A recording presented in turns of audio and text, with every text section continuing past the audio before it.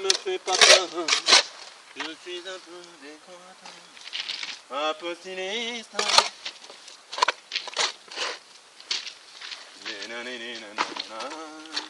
Les mâles. Oh putain, arrête, hein, tu l'avais.